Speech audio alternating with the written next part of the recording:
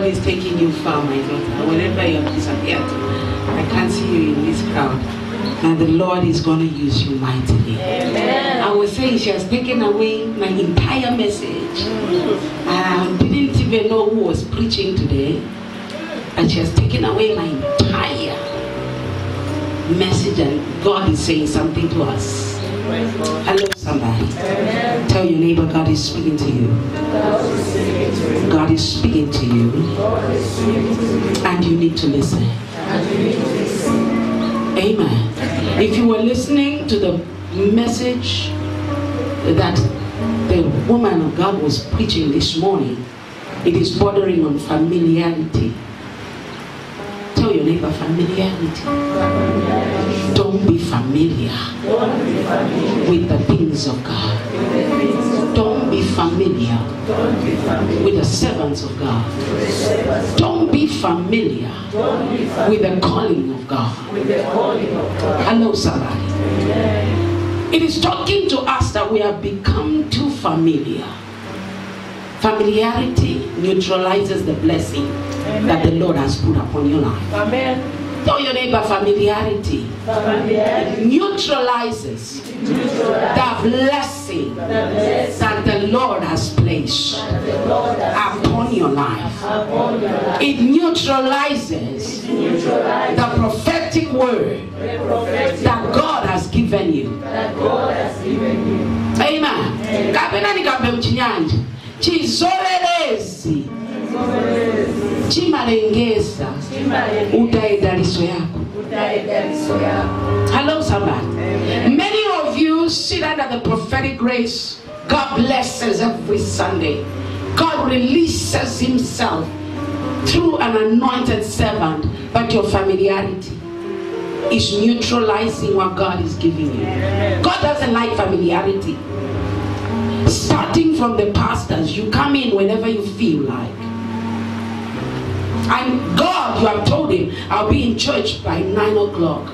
You walk in casually because you're too anointed.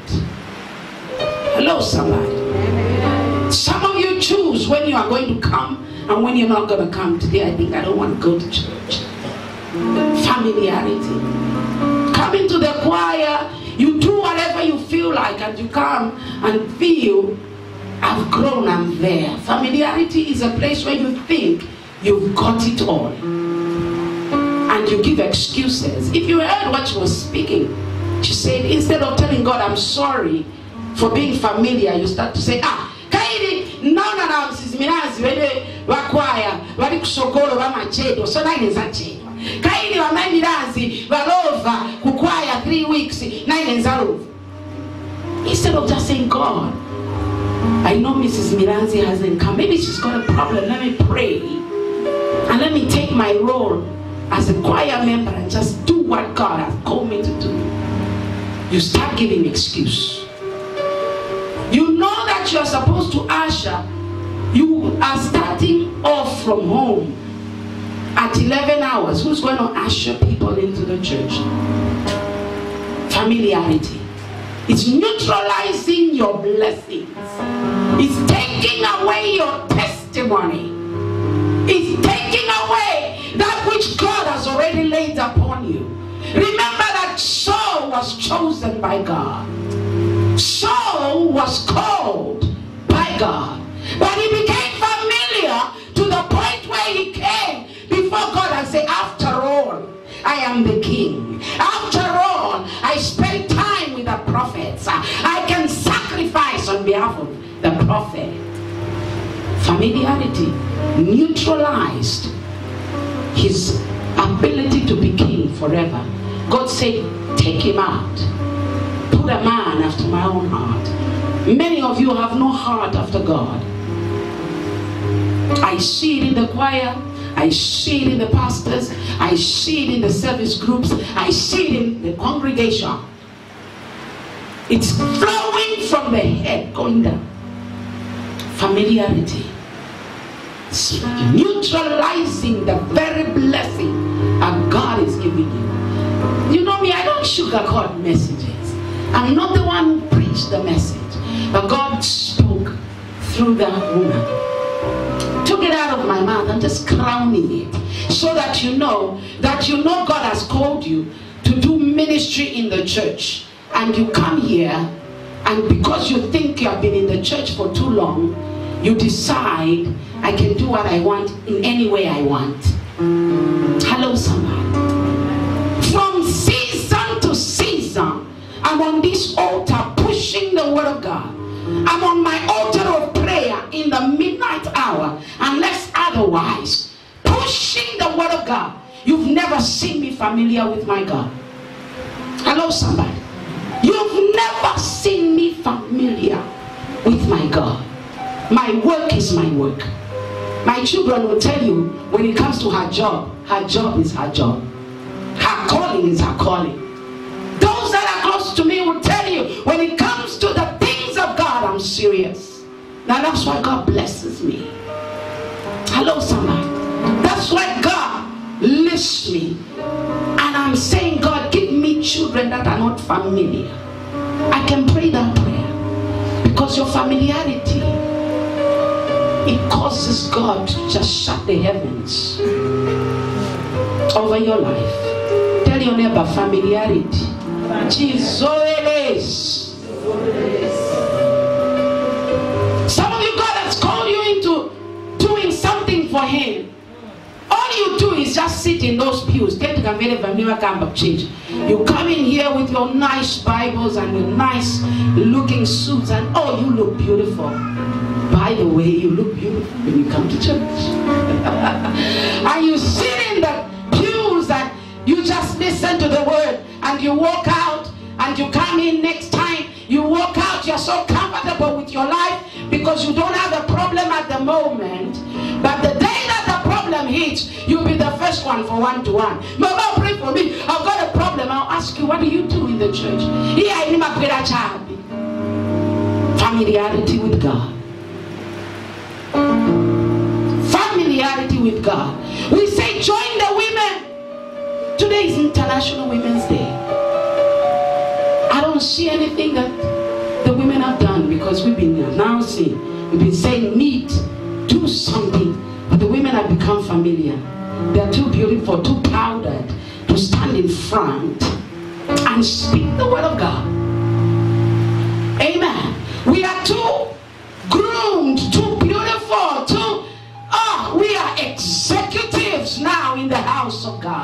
We are familiar with the things of God. Amen, somebody. If there is somebody who knows how to humble themselves, it's me. Yeah, yesterday I was in a very important meeting. I'll give you a testimony of how God can lift you when you're not familiar with Him. I decided to go and be in a meeting where honorable minister was and I, I arrived a little bit late because I had a couple of programs that I was running on TV and on radio in the morning. And I decided I'm late. I'm not going to show off. I'm not going to make noise in this meeting. When the ushers saw me they wanted to get my Bible and put it in put me in front. I said please give me the seat at the very back of the auditorium I'm not looking for recognition. I'm here to meet with my God. I'm here to worship my God. I'm here because God is here. I'm here because I'm here to receive. I'm not here because I'm looking for a place or anybody to recognize me. I just want to sit in the back. Amen, somebody. And when they asked, who are the first time visitors? Like many of you are asked, oh, who are the first time? I stood from the back where I was sitting. And the woman of God saw me at the very end of the auditorium. She said, Come here. Come here, woman. Why are you sitting back there? I said, Please proceed. I'm just here to just hear the word of God, to be refreshed, to also be watered. Amen, somebody. And they had a high delegation of people seated there. This woman, when it comes to women, I cannot even measure up. This woman has connections all over the world. And when you sit and stand before her, you cannot even measure up to her. Well spoken woman she has lived her entire life abroad. But every year she comes into Zambia. Prophetess Mwaka will be here twice a year. And I will see seated be, behind a woman of God. She decided in her heart, I had no idea what was going on. And during a break, she just sent people and said, Bring the woman of God from the back. Let her come and sit in the high delegation where we are seated amongst the ministers and all those that I'm somebody. I am nobody to sit there. I looked to God, I said, But God, there? I sat behind. I'm just here to do my duty. I'm never familiar with God. I never carry myself as though I know it all. I never carry myself as though God has done great things in my life. I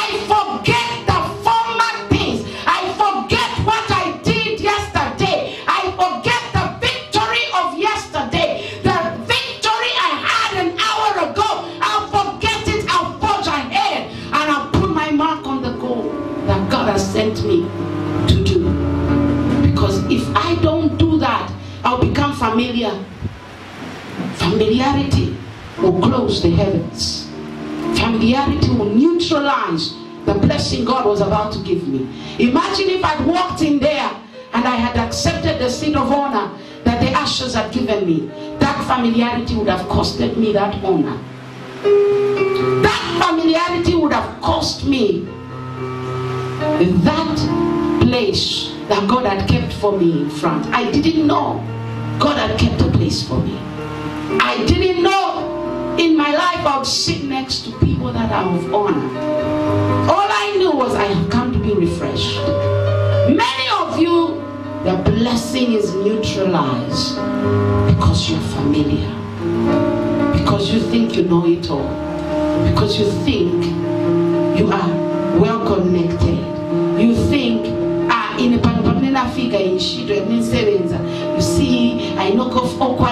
And so I can go to church uh, at any time I feel like. Hello, somebody. God is talking to you. God is ministering something. Many of you don't know how to be brothers keepers. You can see something is wrong with your sister. You can't go there because you have become too anointed, too justified to stoop low and touch another. You are too familiar with God. You think you have made it. There are sometimes I'm, I'm speaking to my sons and I'm saying, Can you do this, please, in the ministry? And they'll answer as though they are the pastors here. Familiarity. I to say, This familiarity will kill you. Tell your neighbor, familiarity will kill you. Be familiar with servants of God, it will kill you.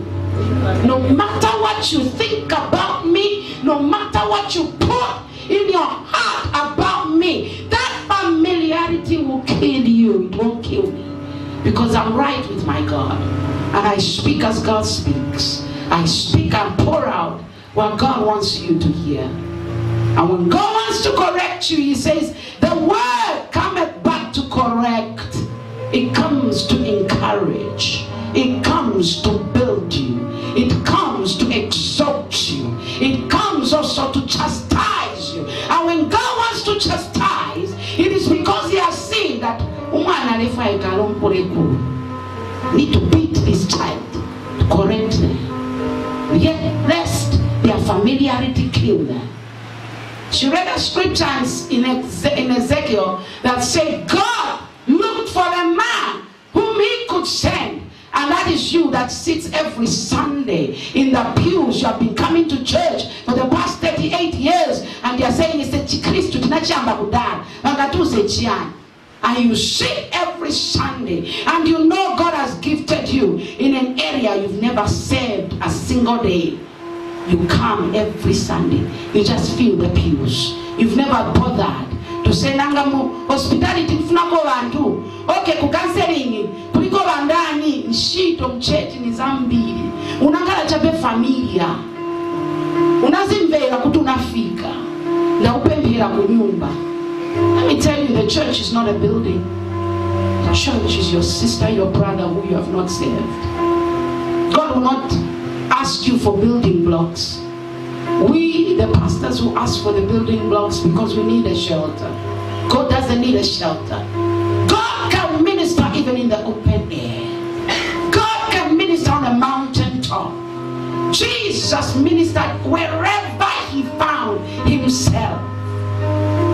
The church is the person seated next to you who you must serve. And the people that are putting the seats down for you, the people that come to clean the sanctuary for you, the people that are doing takeoff for you, the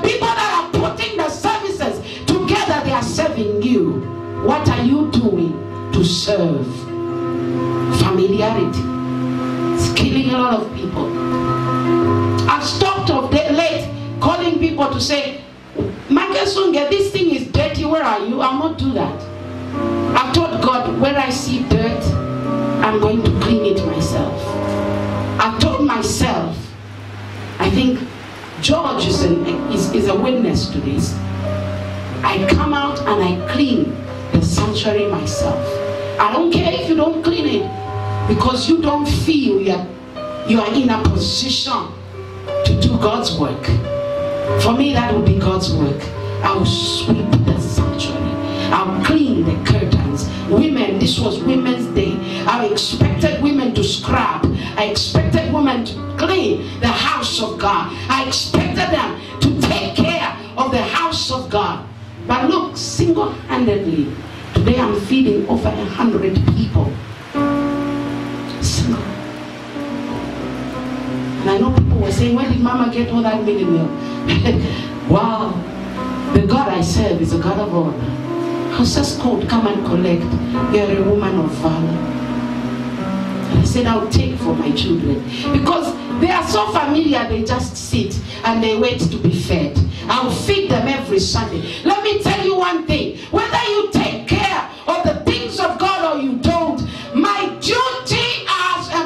minister is to minister until I die. Every day and every time that the Lord says stand on the altar and preach, I will preach as though I have no tomorrow. I will bring out the message as though I'm dying in the next hour because that is what God called me to do. I will die doing that. It doesn't change me when you don't participate. It doesn't change me when you're not a part of what God has called us to do. It is you that is neutralizing your own blessing. And then you say, inamba kudala kwenda kwaija church. Ask yourself, how familiar am I with God's work? How familiar am I with God's calling? How familiar am I with the doings of God? When you answer that question, child of God, she said, don't start making excuses. Iye ayanalengesa nichiti. Iye aikaili paja naona ati vanachedwa kuchoka. Iye aikaili paja jasande mapasta na evi anapwela late. Aijasande naona. Sometimes things happen. That doesn't mean it should change you. When you know you've done something before God and it's not right, just tell him, Lord, I. Father, I'm sorry. Like any father, any mother, God is ever willing to bring you back. God is ever willing to forgive. God's hands are open wide unto thee. He's saying, Come, my children, come back. The way I correct my children is not that I don't love them. The way I correct you through the word of God does not mean I don't love you. But anybody who has never tells you to from a wrong way does not love you truly because they expect you to perish in your own way. And them that will love you will tell you kukwamene uyenda uzafa. They'll tell you injira ya miwaya mbako iyi uwereko nazo. Hello somebody. I'm telling you this message. Ruth, may God bless you. God use you mightily. May God lift you high. I remember prophesying in your life. I said, I see you walking in my feet. I see you becoming something great. I didn't know you were preaching today. I had to ask Phoebe, is it true? I just said, who, who did you choose as women? That God is going to use you. Because you had the message that God gave me. Except God gave me the words from the, the, the New Testament. God gave you the word from the Old Testament. And He complemented the two. Hello, somebody. Don't be familiar with God. Want the choir to just come and give us a worship song. Lead us to repentance. God is speaking to us. The healing you have today, the touch you have today, is simply you saying, God, forgive me. Father, forgive me. You know where you've wronged. You've known how far you've dropped spiritually. After fasting, you have gone back 10 steps. After prayers, you have gone back 11 steps. You know how many steps backwards you've taken. Child of God, it's not a time to start feeling guilty. Child of God, it's not a time to start crying. It's a time to say, Daddy, I'm sorry. I'm coming back. I'm coming back. I'm putting my priorities straight. I'm realigning myself. I'm putting in what I ought to be putting in. I'm stopping short changing your work for my own. I'm coming back fully to operate. Men, don't be too comfortable. You pledged that these microphones will always have batteries. We don't have batteries in them because it's become familiar. Mama will buy. May God supply for me because He always supplies more than I can have. Hallelujah. And because there are no men in this place that will buy batteries, I will buy the batteries. But remember, the blessing is closed over you because you are familiar. Amen. The close, the, the, the blessing for those that are to buy batteries is neutralized because you simply say, Many of you have pledged, God, I will be buying this, I will be doing this, I'll be doing that. You suddenly stop. And the blessing is neutralized. No, God, I pledge to be bringing this for the house of God, and I'll be doing this for God. You suddenly stop. The blessing is neutralized. My Rosambo leader, you are the one to blame.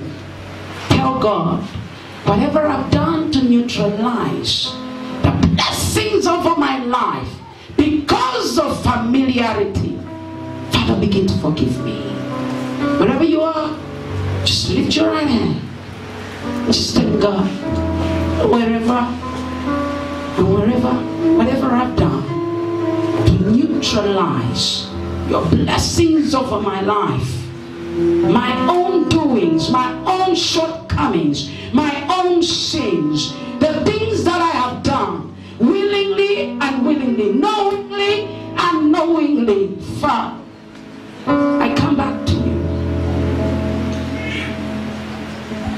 I come back, Father. I come back, Lord. I don't deserve a second chance.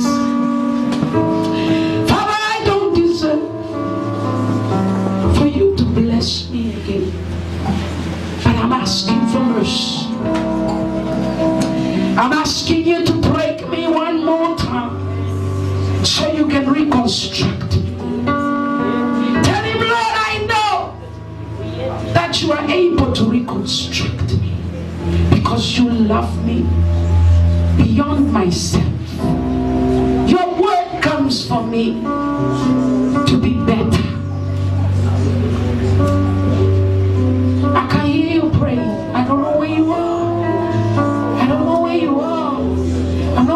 Force you to pray. I'm not going to force you to talk to God. This is a moment of reckoning. It's a moment when you should speak to God. It is a moment when your voice should be speaking to your God. Forgive me for being familiar.